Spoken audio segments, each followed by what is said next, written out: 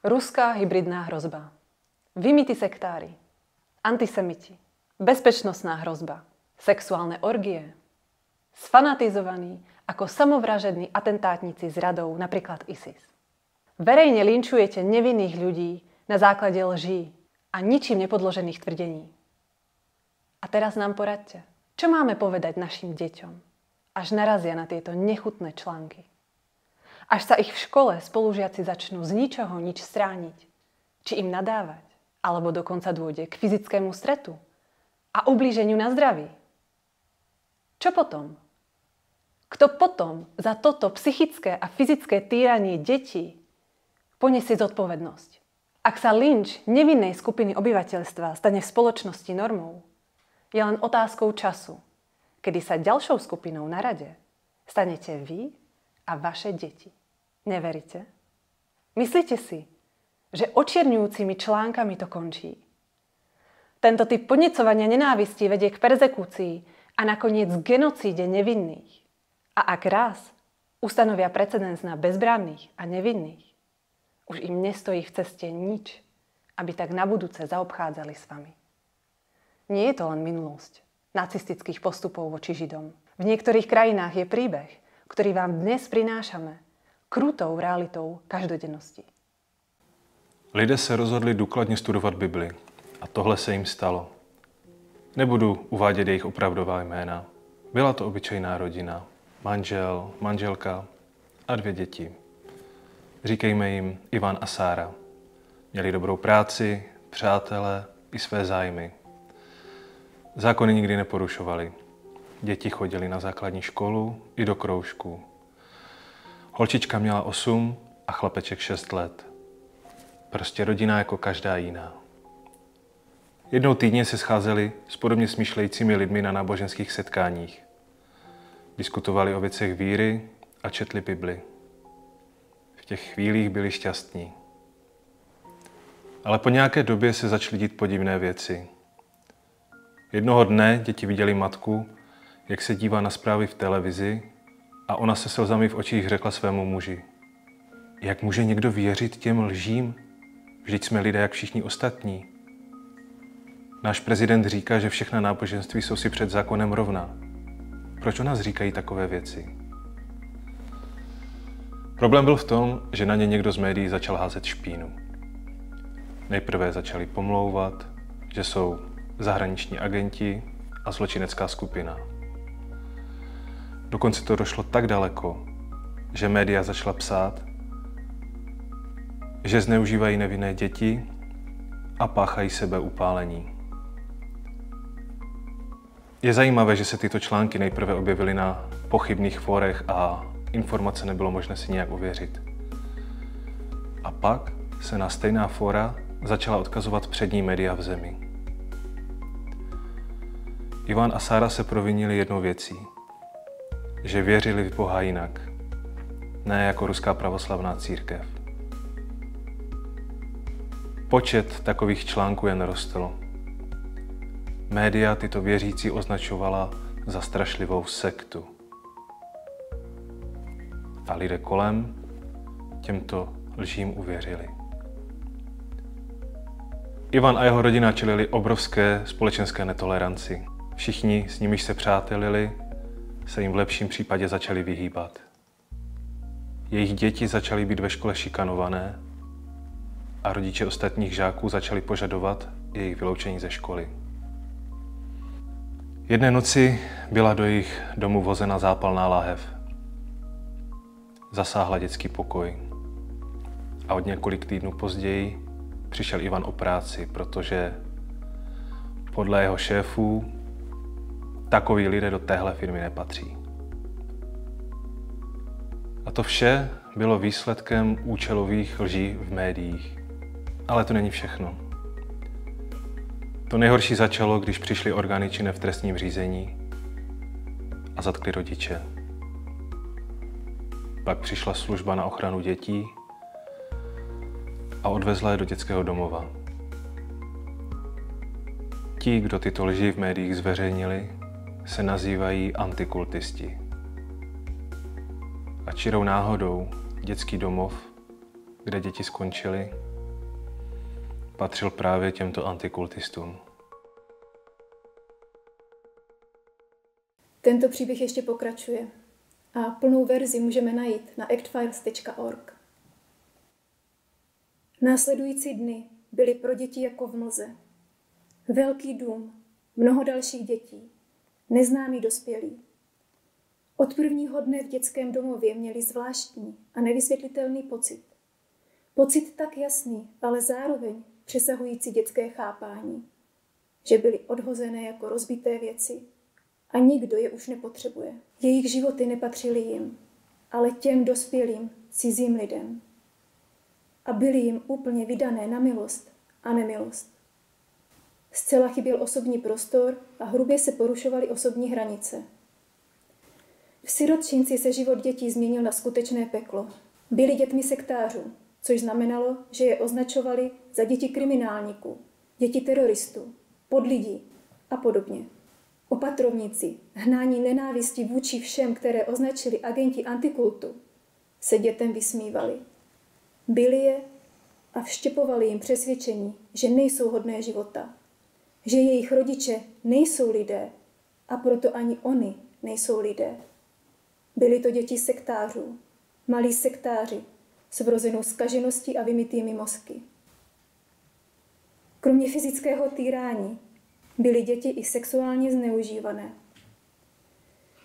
Malé osmileté děvčátko, hříšné a nehodné, nutili recitovat modlitby, zatímco ji znásilňovali, čímž z ní vyhánili démona sektářství. Jejich noční můra pokračovala. Děti byly rozděleny a prodány jako zboží. Prodány těmi, kteří uvěznili jejich matku a otce.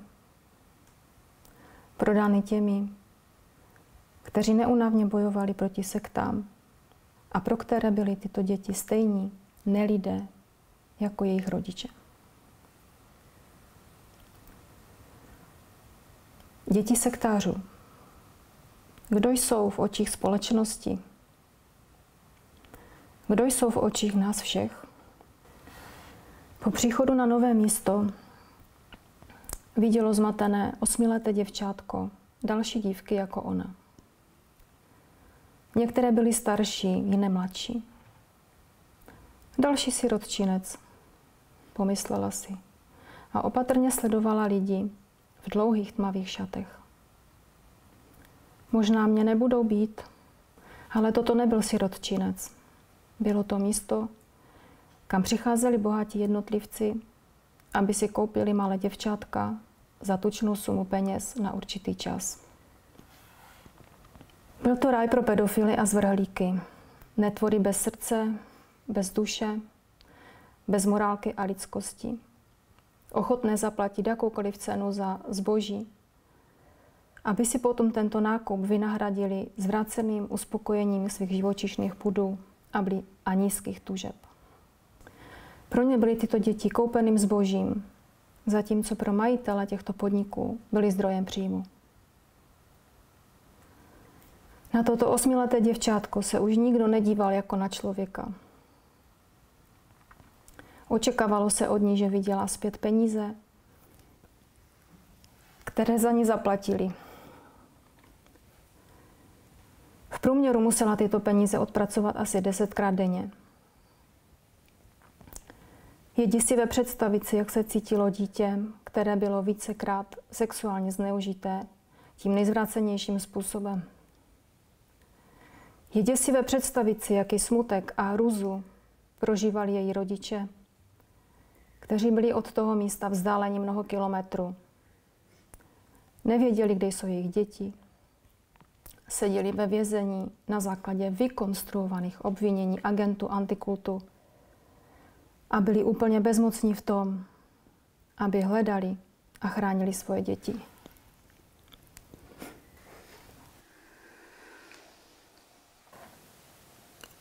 Som mama, mám dve deti. Tiež chlapca a dievča. Keď som čítala tento príbeh, tak som si musela dávať prestávky, pretože ma to trhalo znútra rozmýšľala som nad tou ženou, mamou, že to je absolútne rovnaký človek ako ja. Tá rodina je úplne rovnaká ako tá naša. To, čo im urobili, je asi to najhoršie, čo si viem predstaviť, že sa človeku v živote môže stať. Mi třeba přijde úplně...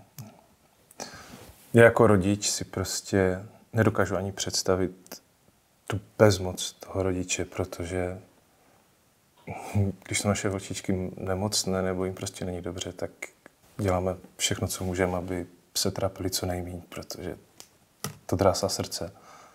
A když si představím, že jsou v takové situaci, která je tisíckrát horší než cokoliv, co zažili za celý život, a já tam nemůžu být a pomoct jim, tak to mě drtí. A představa toho, že tohle není jediný případ, ale že takových příběhů jsou miliony. Ty si někde zavretý, nemůžeš nič robiť a ty děti jsou prostě vystavené na pospas tomuto zlu. Jak, jak jim to může někdo vůbec urobit? Jak vůbec můžeme dopustit, aby, aby takto vlastně bez ničoho někdo na teba ukáže prstom, protože jsi z nějakého důvodu nepohodlný. A v záujme ochrany tvojich dětí im spôsobia toto? Jakože my tomuto hovoríme 21. storočie a vyspělost našej společnosti. Já když jsem poprvé slyšela tento příběh, tak mě se zmocnil strach. Strach o moje vlastní děti. Protože chápu, že pokud jako společnost dovolíme, aby se něco tak příšerného dělo, být jen jednomu dítěti na planetě, já si nemůžu být nikdy jistá, že to samé se nestane i s mým dítětem. A musím uznat, že zároveň ve mně rostla taková zlost. Zlost vůči nám všem dospělým. Jak tohle vůbec můžeme dovolit? Jak můžeme dovolit, aby naše děti takhle trpěly? A jak už zaznělo, to nejsou ojedinělé případy. Ty děti jsou miliony. Miliony zničených životů. A nelžeme si. My všichni víme, že se tyhle ty věci dějí. A pokud přece jenom někdo pochybuje, tak ať jde, ať si promluví s některými lidmi, ať jde na ta místa. Koupí si dítě za peníze. Ne, aby ho znásilnil, ale aby si s ním popovídal jako s člověkem. A pochopil, co tyhle děti zažívají. A já si nedělám iluze, že v tom, že v tom příběhu bylo popsáno všechno, co se jim dělo. Já si myslím, že ta skutečnost je ještě daleko strašnější. To, jak ten příběh začal, tak to stejné se děje i u nás. Prostě ty příznaky jsou vidět. Jak na Slovensku, tak v České republice. A když jsem pak dočetla ten článek a poznala jsem vlastně celý příběh těch dětí a vlastně celé té rodiny, tak eh, prostě chápu, že eh, žijeme v demokratickém, v demokratické zemi a platí zde demokratická práva. Nebo spíš měla by platit. A když se budeme opírat o to právo, tak v podstatě my máme právo a hlavně i povinnost mluvit o tom, že už se něco takového děje tady u nás. Takže pro mě to byla velká eh, výzva vlastně eh, zjišťovat dál. Ano, za poslednú dobu sme boli nutení študovať príbehy, ako je tento. Pretože ak sa človek ocitne uprostred tohto, čo my, tak sa snaží pochopiť, čo sa to do pekla deje. A my vidíme, že toto celé podlieha určitému mechanizmu. My vieme, aké deje tomu predchádzajú, predchádzajú, že to má svoje fázy a my vidíme, že tento identický dej, ako si povedala, proste prebieha v túto chvíľu na Slovensku. Na Facebooku som čítala rôzne komentáre, rozhovory viedla s ľuďmi a ľudia píšu, ale nebláznite, nikto vám deti neberie, my žijeme v demokratickej krajine. Už len to, že sa vôbec o tom bavíme. A tým, že my chápeme, že toto nie sú nejaké náhodné, nesúvisiace udalosti, ale že je to organizovaná činnosť, takže my chápeme, že ak sa to nezastaví v túto chvíľu, toto môže byť naša budúcnosť. On si vezmi, ako antikultisti to majú veľmi dobre vymyslené. Oni si vyberajú bezúhonnú skupinu ľudí. Hej, ono, mohli by sme si položiť otázku vlastne, a prečo sa nenavážajú do veľkých náboženských organizácií? Prečo si za svoj cieľ vyberajú Jehovových svetkov, jogínov?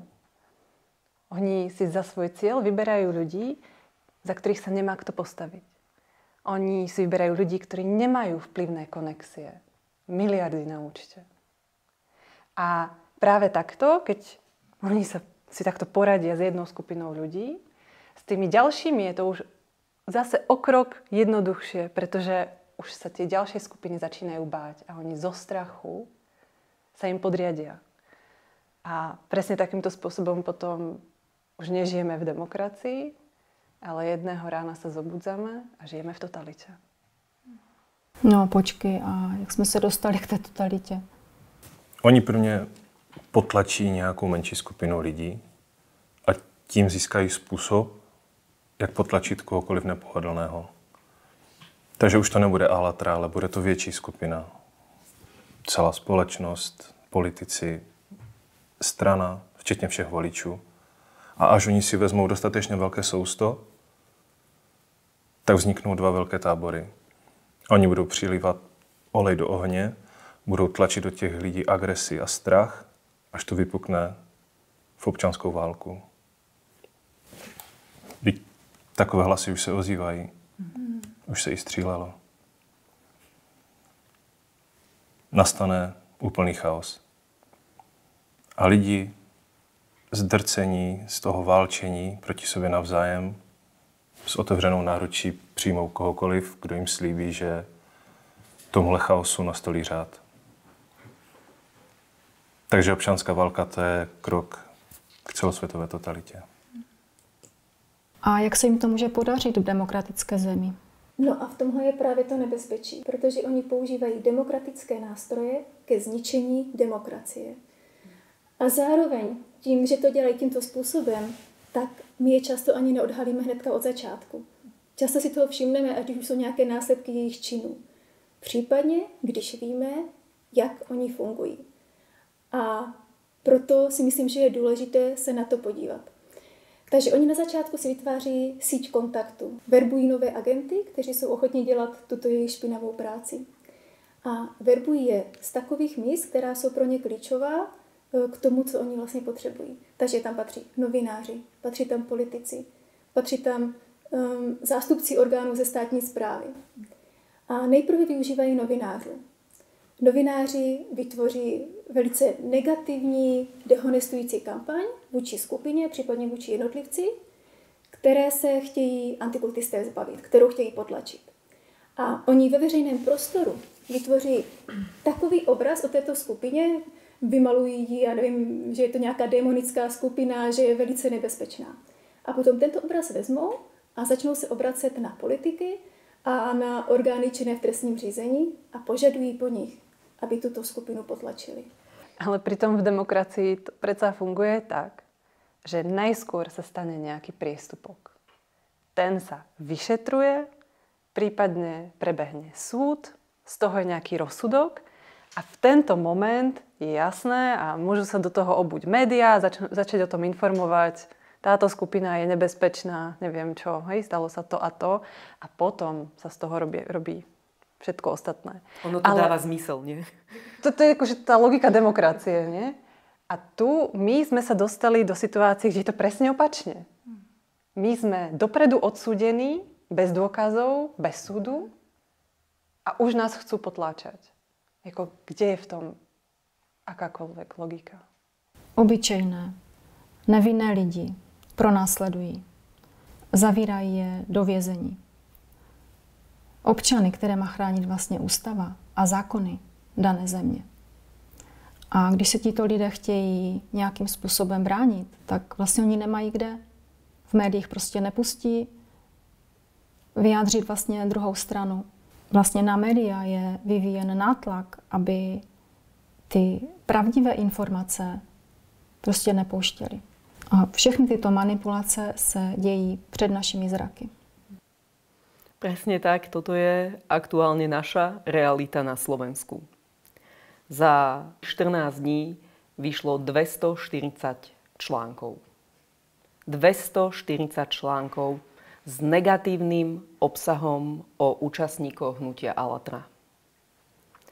Myslím si, že každý súdny človek musí chápať, že je tu niečí záujem. A prosím vás, skúste si odpovedať na otázku, že naozaj veríte, že cieľom tejto dehonestujúcej, očierňujúcej kampani je vaša ochrana? Že autory tejto dehonestačnej kampane sa vás snažia chrániť pred touto vraj nebezpečnou sektou? No a to je práve krásne vidieť. Je vytvorená mediálna sieť, ktorá, ktorej stačí terč a oni ho zlikvidujú. A je jedno, že či to bude po nás politik, vláda, organizácia, akákoľvek, nenáboženská, hej, či to bude športový krúžok. Stačí, že sa antikultistom niekto znepáči a tu sú krásne vidieť nástroje, akým spôsobom ju zlikvidujú. Viete, koľko stojí takýto článok alebo titulka v takýchto médiách? My to vieme. Pretože nám ani za peniaze neuverejnili články, aby ste si vy, občania Slovenska, Česka, mohli vypočuť aj druhú stranu príbehu. Skrátka už v minulosti toľkokrát zrealizovali tento mechanizmus, pretože ako si hovorila, ak človek ho pozná, tak sa stáva skutočne viditeľným a potom eh, presne dokážete vidieť, kde sa to dialo a kedy sa to deje. Vravia, že sú tu pre ľudí, aby chránili ľudí. Pre Boha ľudia, videli ste film Impact. Videli ste ľudí, ktorí prešli ich rukami, Títo ľudia proste sú navždy psychicky, fyzicky zmr- zmrzačení alebo mŕtvi. To, čo oni robia, v skutočnosti to je výsmech všetkým nám, ľuďom a celkovo demokracii. Je to hrozné, ale títo ľudia sa zabávajú na tom, ako vlastne mrzačia tieto ľudské osudy a užívajú si svoj pocit moci a víťazstva. Ale v túto chvíľu je to taký test – skúšajú, či sme už natoľko otupeli, že dokážu tento mechanizmus, tento plán zrealizovať aj v demokratickej krajine, teda na Slovensku. A najbizarnejšie na tom je, že z rád týchto investigatívnych novinárov zaznievajú názory, že antikult dokonca neexistuje. A Mňa by teda zaujímalo, že čo toho pol roka kopali a kde. Keď sa nedokázali za tento čas ani rozobrať v tej jednoduchej otázke, čo je to antikultové hnutie. Pretože vy ste schopní na prvý rozhľad túto informáciu získať aj z českej Wikipédie. A Alatra si prímnila tento pojem vymyslet. A ja, ja neviem, či sa mám pri tejto informácii smiať alebo plakať, pretože existuje celá rada renomovaných odborníkov, vedcov, sociológov religionistiky, ktorí už na začiatku 90. rokov na tieto antikultové hnutia upozorňovali a upozorňovali na to nebezpečenstvo, ktoré sebou nesú, predovšetkým zástupcovia, ktorí teda v rámci tej snahy veľkorysej ochrániť obete siekt tak v rámci tej ich techniky slávnej deprogramovania unášali tu na týchto údajných sektárov z týchto skupín proti ich vôli, fyzicky ich týrali, psychicky ich týrali, sexuálne zneužívali, v snahe vymietiť z nich tohto, ja neviem, sektárskeho diabla alebo koho. A O čo ani nežiadali však. No a za túto akoby záchranárskú činnosť ešte dostávali veľmi dobre zaplatené vlastne od ustráchaných rodinných príslušníkov, ktorí takto zachraňovali akoby obete siekt. To je biznis plán. Biznis plán. A na druhú stranu, prečo o tomto všetkom vieme, je práve preto, že mnoho antikultistov, ktorí sa tomuto deprogramovaniu venovali, boli pred súdom. A tie súdy prehrali za porušovanie ľudských práv a za týranie. Za šírenie klebiet. A to nie sú iba jednotlivci, to sú aj celé ich organizácie, ktoré nakoniec bankrotovali. Americká komisia pre medzinárodnú slobodu náboženstva sa k Dvorkinovi, čo je vedúci člen ruskej antikultovej asociácie RACIRS, ktorá funguje pod záštitou Ruskej pravoslavnej církve, Moskovského patriarchátu, tak o tomto Dvorkinovi a jeho činnosti sa vyjadruje vo svojich správach z roku 2020 alebo 2023. A toto všetko, čo vám tu raz hovorím, je iba špička ľadovca, ktorú vy ste k antikultu schopní nájsť za jeden večer googlenia. Takže vďaka tejto skvostnej práci tzv. investigatívnych novinárov môžeme prehlásiť, že investigatíva je mŕtva.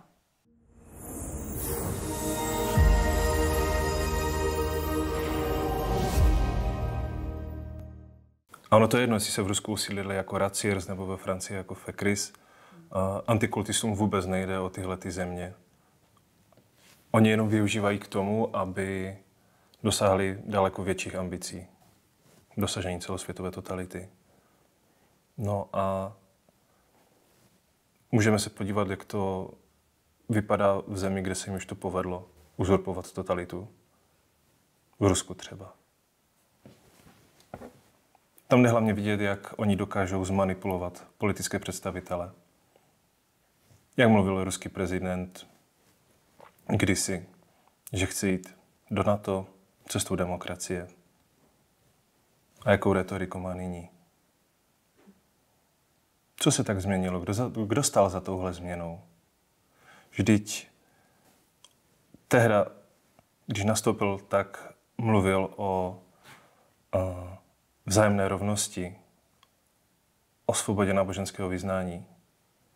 A potom přišel Racirs v čele s Dvorkinem a Novopašinem a Putin zapomněl na to, co říkal a převzal jejich retoriku. Antikultisti zabrali klíčové pozice a přednesli takový návrh, aby se Ruská pravoslavná církev stala jediným dominantním náboženstvím v Rusku. A na to si aj koupili Ruskou pravoslavnou církev. Oni uslyšeli na to, že budou jediné náboženství v zemi. Dobré kněze a ty, kteří se jim postavili, tak jednoduše odstranili. Ještě chvíli a bude to vypadat jako kdysi za nadvlády cara, kdy byl člověk poslaný na gale jenom proto, že se nepokřižoval, když šel kolem kostela. A co lidé? Myslíte, že se jim tam žije dobře? Když za sebe menší drobnosti můžou zavřít do vězení? Za to, že dají like na nesprávný příspěvek? Rusku už se jim to podařilo. Ale to antikultistům nestačí. Teď vidíme, co se stalo na Ukrajině. Tam už se dostali do vlády a díky tomu dostali prostor potlačovat nevinné lidi. Nejenom Alatra. Těch skupin je mnohem víc. Ale oni jdou dál. oni jdou do dalších zemí Evropy a do Ameriky. Ale ta, ta retorika a ty mechanismy, jakými oni to dělají, jsou stále stejné. Takže pokud my pochopíme, jakým způsobem to udělali v jedné zemi, tak podle jejich retoriky poznáme, že se aktivovali v jiné zemi. A co my teďka vidíme na Slovensku? Úplně to jisté.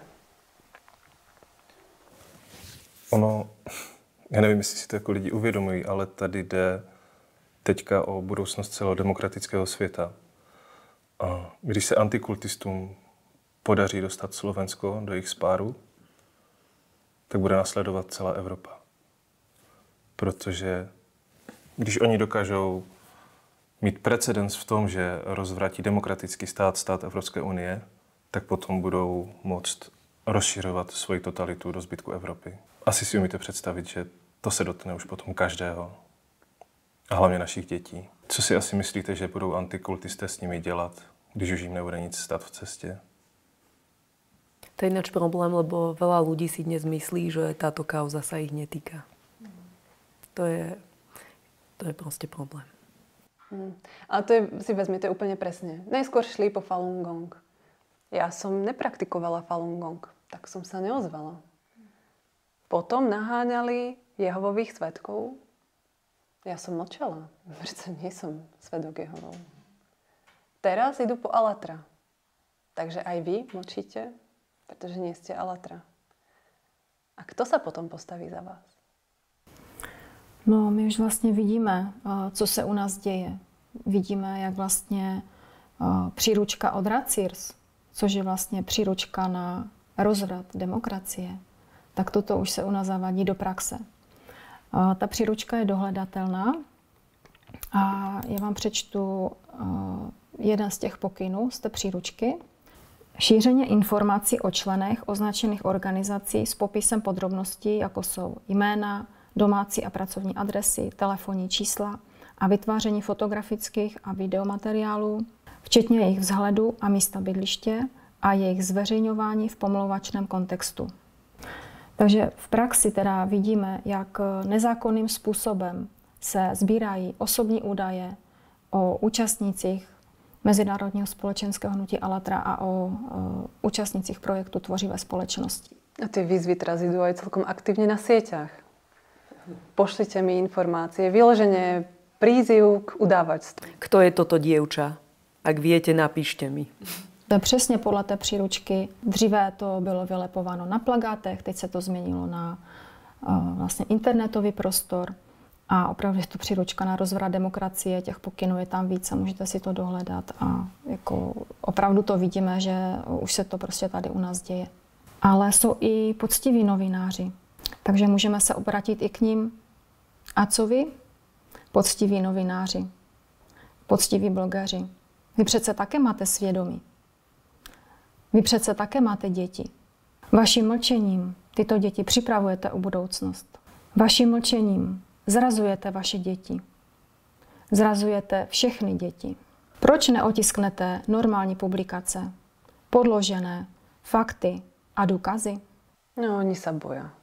Pretože ono je to krásne vidieť. Ono sa človek nemusí ani priamo postaviť za Alatra. Stačí, že začne poukazovať na tie manipulácie, na tie absolútne nechutnosti a zvrácenosti, ktoré sa dejú.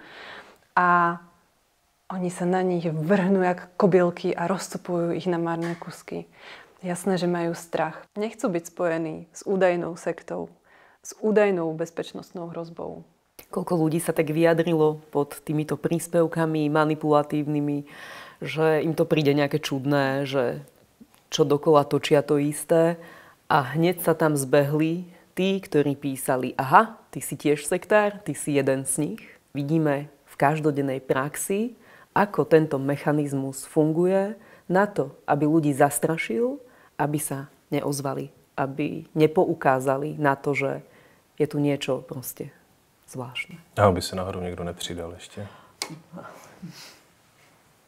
Takže na místo novinářské etiky jste postavili příkazy zločinců. Takže musíte vytvářet podmínky, aby mohli páchat genocidu. A Přitom v demokratických zemích, kde by, měly, kde by měly platit zákony a lidská práva. Jen se zamyslete nad tím, k čemu vás dotlačili. Budeš porušovat demokratické zákony, jinak řekneme, že jsi sektář a zničíme tvůj biznis. Místo toho, abyste šli na prokuraturu a křičeli o tom, tak je poslechnete. A já si myslím, že to dělá opravdu pár lidí, že jich nemůže být moc, protože je to jak eh, s těmi vlky. Jsou dva, jeden je na jednom konci, druhý je na druhém a dělají velký humbuk. Když o nich nevíte, tak si myslíte, že je to velká skupina. No, v skutočnosti oni sú takí skvelí manipulátori a oni sú skôr také dve krysy v pohári, ktoré sa nakoniec navzájom požerú. Stačí jeden, dva lidi na město. Mm-hmm. A to je vlastně velmi zajímavé, protože antikultisté na jednu stranu potřebují dostatečný počet těch svých agentů, aby dokázali realizovat svoje cíle, ale na druhou stranu jich zase nesmí být moc, protože oni potom jdou do sebe, u toho dělají humbuk, takže jsou na očích a tahají na sebe špínu. No my aj vidíme momenty, kedy do seba sa navážajú títo ľudia. Kdy žák se snaží nahradit svého učitele. Ještě chvíli počkáme a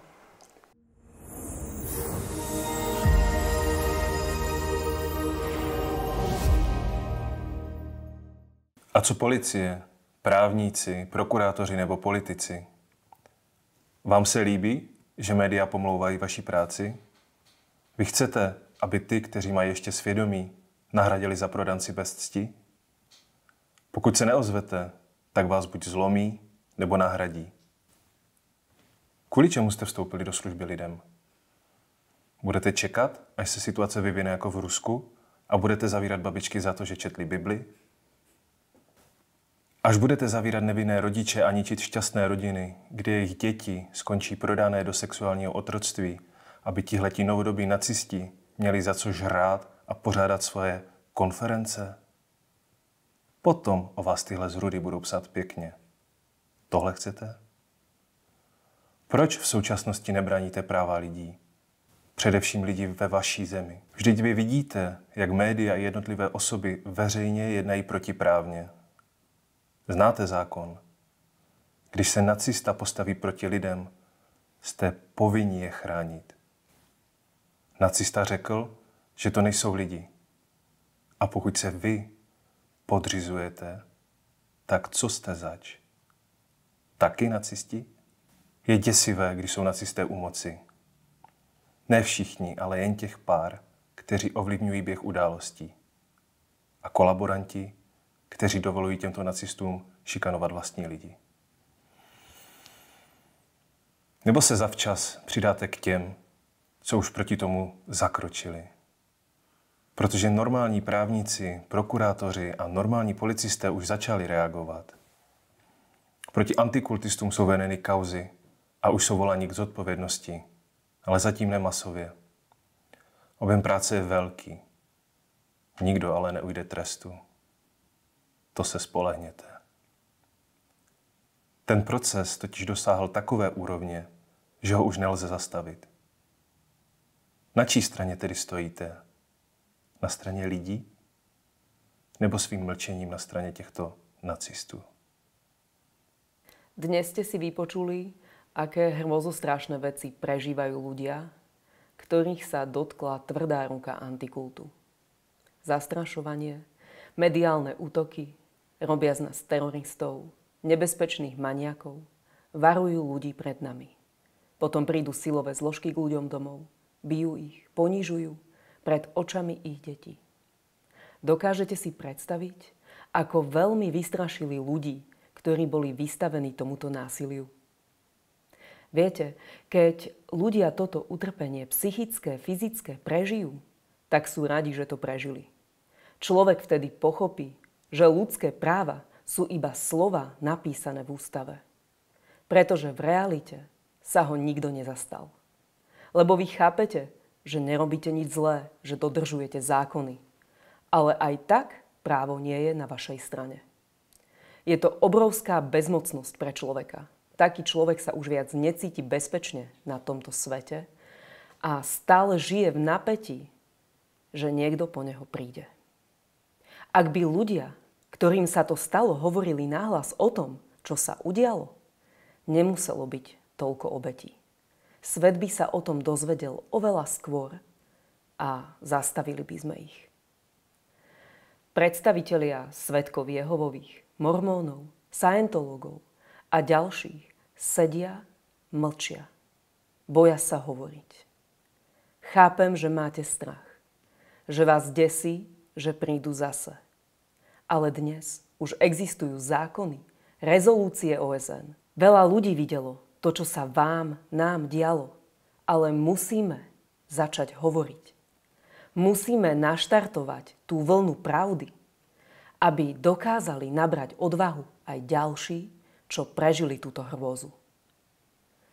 Oni o tom musia všetkým povedať. Veľa dobrých ľudí 10 ročia trpelo a teraz sa môžeme stať tými, ktorí to navždy zastavia. A už nebude trpeť ani jedno dieťa, ako tie, o ktorých sme vám dnes povedali. Pretože dnes existujú aj normálni policajti, prokurátori, existuje aj veľa materiálu, ktorý sa študuje a oni už začali reagovať. Proti antikultistom sú vedené kauzy, ako napríklad voči Fekris. Tento proces už dosiahol takú úroveň, že ho nie je možné zastaviť. Niektorí sa snažia spolupracovať, priznať sa a tým si zabezpečiť polahčujúcu okolnosť. Mnohí z nich dúfajú v nejakú zhovievavosť. Aby ich nespájali s článkami o terorizme, genocide a zločinoch proti ľudskosti, ktoré vysia nad každým z nich. Sú to tí, ktorí sa angažujú v antikultizme. Všetci sú zapojení do nacizmu. My sme boli 10 rokov vystavení genocíde. My vieme, čo to je. Vedome sme si tým prešli, aby už ďalší netrpeli. Ste vystrašení, a hovoríte, že vám vaše náboženstvo nedovoluje spolupracovať s ostatnými, alebo že Boh to zariadi. Ale radšej úprimne priznajte, že ste tak vystrašení, že sa tých nacistov bojíte. A my vám hovoríme v tejto chvíli, aby ste sa prestali báť. Sú už odsúdení. Svet sa o nich začína dozvedať každým dňom viac a viac. Prišiel váš čas odhaliť týchto maniakov. Oni sa musia zodpovedať za vaše utrpenie. Chápeme, že prídu milióny ľudí so svojimi svedectvami a príbehmi a my spoznáme množstvo traumatizujúcich príbehov. Budeme si tým musieť prejsť. A áno, nebude to ľahké. Bude ťažké zistiť, koľko utrpenia a trápenia prežili nevinní ľudia. Vy, normálni občania, normálni ľudia, ste sa stali obeťami a sami sa za ne považujete a sedíte v kúte a skrývate sa. Je nám hrozne ľúto detí, ktoré zmrzačili, ktoré nemôžu hrdo chodiť do školy a nemôžu slobodne povedať, že moji rodičia sú Jehovovi svetkovia, scientológovia, alebo že sú Židia, moslimovia, ortodoxní kresťania. Pretože ich ostatní nevnímajú ako seberovných. Nevnímajú ich ako ľudí. A pritom medzi nami všetkými nie je žiaden rozdiel. Je to uvedené v zákone. A keď je to v zákone, tak to tak bude.